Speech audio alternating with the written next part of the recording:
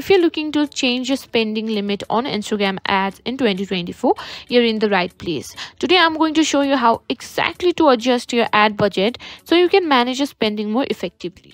Let's get started. Changing your spending limit on Instagram ads is an important step to ensure your advertising budget limits with your goals. Here's how you can do it. First, you need to access the meta ads manager which is the platform you used for managing your instagram app ads. Open your web browser and go to adsmanager.facebook.com.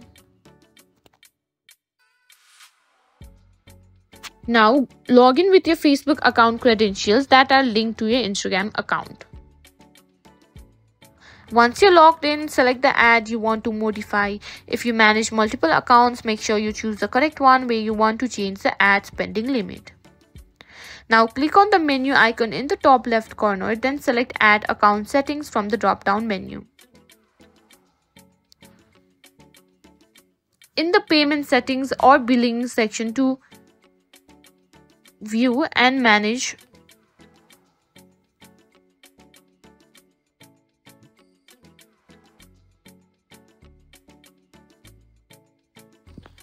Uh, click on payment settings or uh, billing to view and manage your spending limits.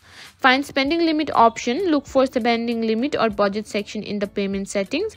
There you can see your current spending limit and option to modify it. Click on edit or change next to spending limit option. Enter your new desired limit and confirm the change. Make sure to save your changes by clicking on save or update to apply the new spending limit to your ad account. And that's it, you've successfully changed the spending limit on Instagram ads.